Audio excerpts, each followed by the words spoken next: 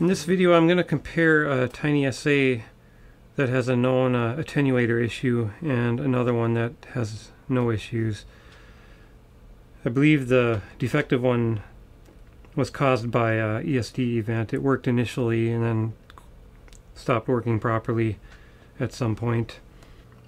So to do a quick uh, functional check you can run this self-test routine under config and self-test. And the last step is the attenuator.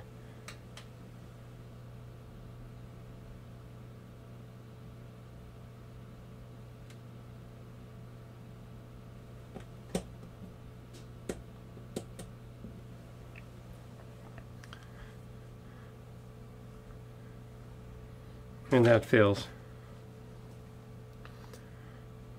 At a minimum the attenuator step will fail depending on what condition the failure mode is. Um, other steps may also fail. So to test the attenuator,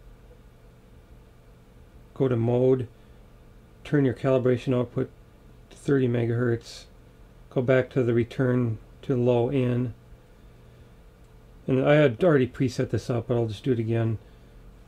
Then the frequency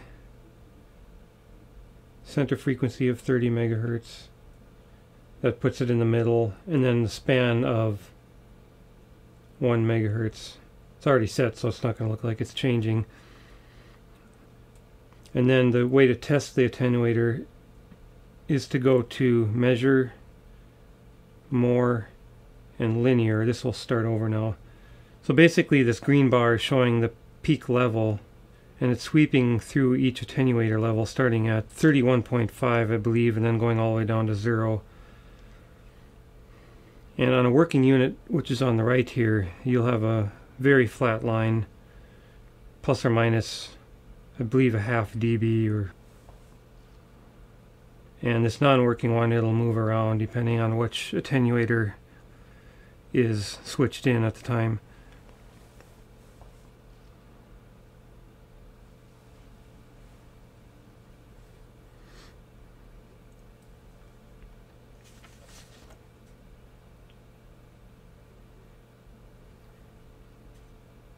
Okay, while that's running, I'll show a little part of the data sheet here. This is a table of the attenuation states. So built in, it, appears there's a half dB, a 1, 2, 4, 8, and 16 dB of uh, attenuation available. The 31.5 is turning all of them on at the same time, so you can get anything between 0 and 31.5. So if you want 3, switch on the 2 and the 1 dB.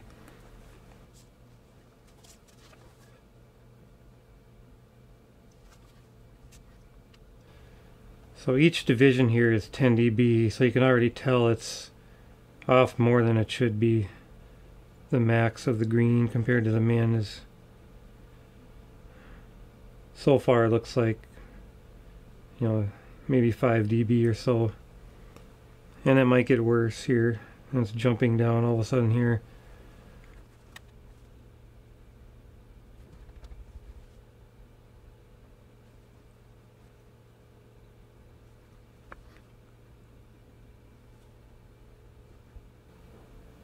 Okay, so the one on the left is basically done.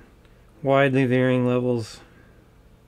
the one on the right I just started again.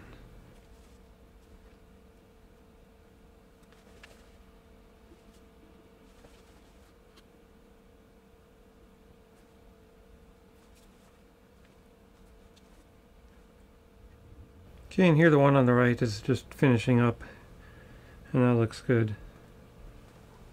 So to manually check the attenuator, you can also go to the level menu, go to attenuate, manual, and then type in a value. So I'll start at zero, and then note the reference, or the peak level here, 24, 25. And I know that the 2 dB and the 8 dB attenuators have the issue so this would be considered a known good state 24.5. I'll manually type in 2. So that's switching on the 2 dB attenuator. And it's going down more than it should. because um, this should compensate automatically. So if you switch in 2 dB, it should compensate and always show the same level regardless of the attenuation. So for example, I go to 30 dB. Spectrum analyzers are generally set up to compensate and show the actual level. So the level should always be correct regardless of your attenuation. If you put external attenuators in, you'd have to manually compensate for the level. So I'll put in another uh, known good one, uh, 4 dB. And we're back up to 24. So another known good one is uh, the 16 dB attenuator, so I'll switch that in. So that should give a very similar level. So that's within a half dB. And I'll switch in a known bad one here, and that's the, I'll try the 8 dB. Now we're like minus 30, so that's off by several dB. Then also all, any combination of 8 plus 1 or 8 plus 2, they'll all be off by that amount. 8 plus 2 actually would be off by even more because the 2 dB is also damaged. So if I go 10 dB,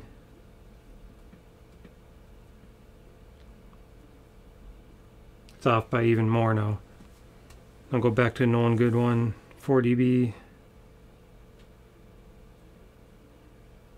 And we're back up to normal.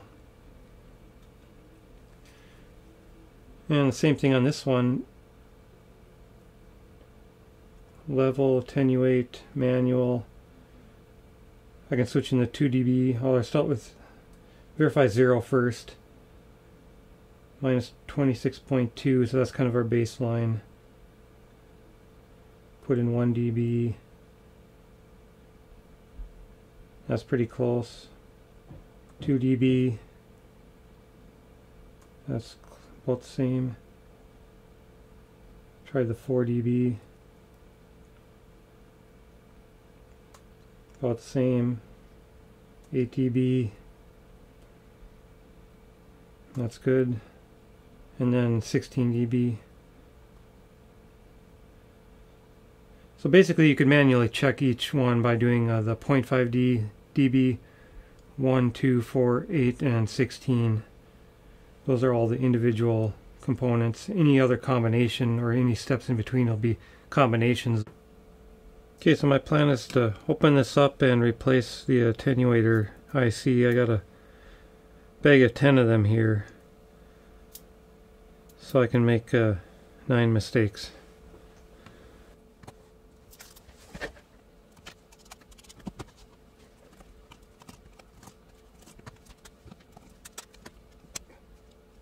Switch pokes through the hole there, so lift it from this side.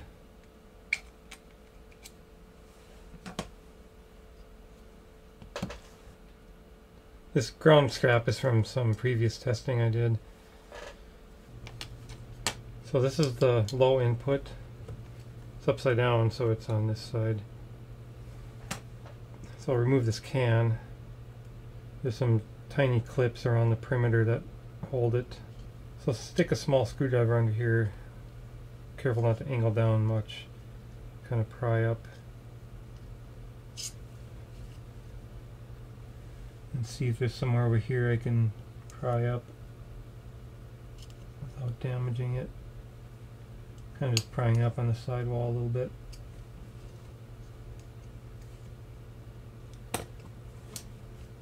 Small spot here. And lift.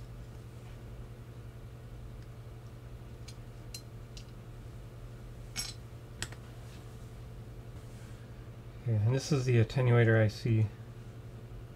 So according to the datasheet, I believe there's a pad in the center, so that's likely soldered to the PCB, so I'll plan to use the hot air because of that. If you desoldered the pins around the perimeter with desolder wick, that probably wouldn't be enough because you'd still have that center connection. So I'm going to use hot air, try not to break anything. There's a LCD on the opposite side, so hopefully nothing overheats. It looks like pin 1, that little white dot there I believe is the pin 1 marker. I'm going to start around 150C just to kind of warm up the whole area.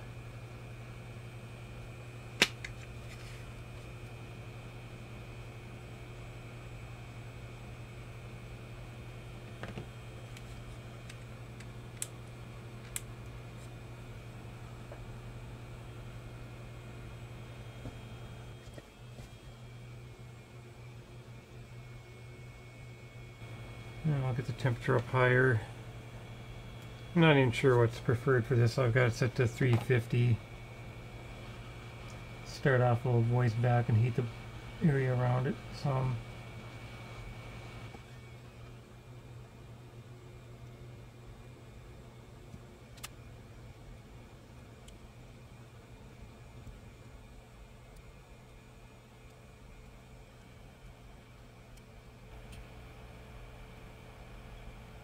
Goes.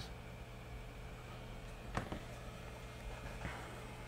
I'm going to put this under the microscope and use some desolder wick to remove the solder off the pads and then I'll prepare to put the new part on. So these are flux or just uh, flux syringe. Helps a lot for removing solder. I just spread a little bit around here even though the soldering wick usually has some powdered flux embedded in it.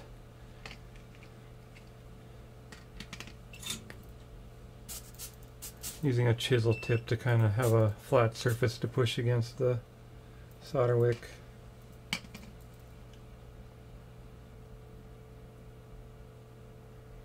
So I have some lead solder paste and some lead-free solder paste. Both of them are well beyond expired. So I'm just going to hope one of these works. I'm just going to do a little test run on some PCB material and see which one flows better. And then I'll use that one. So I'm not even sure if this board was lead free or not. Ideally you'd match the solder type to what was on the board. This is the lead free I believe.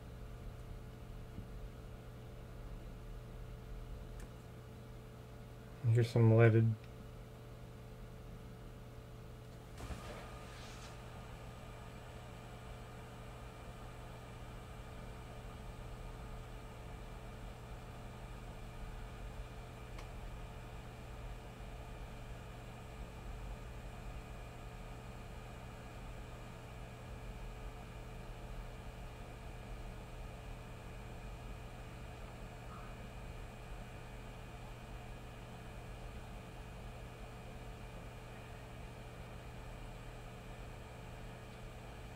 Seems like the leaded flows better.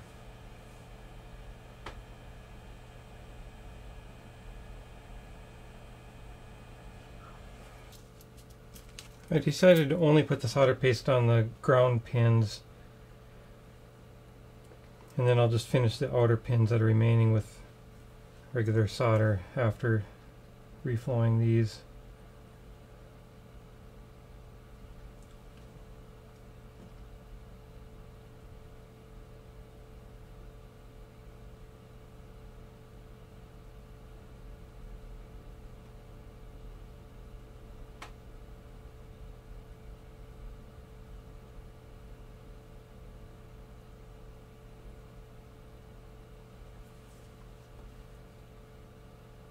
Since the pins don't protrude, it's hard to even see. To align this, you have to tip it up quite a bit to see the side of the pins.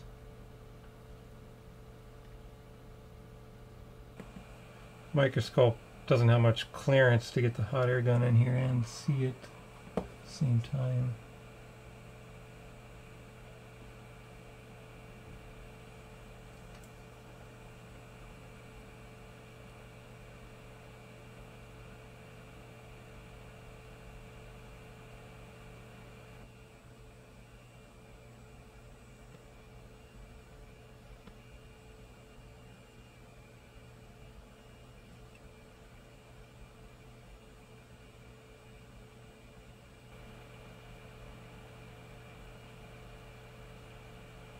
You see it starting to reflow.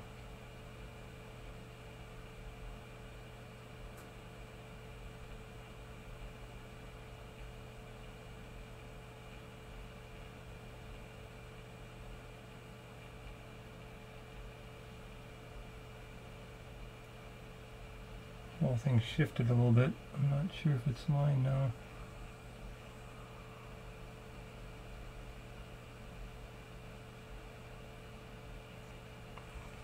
I'll stop and take a look.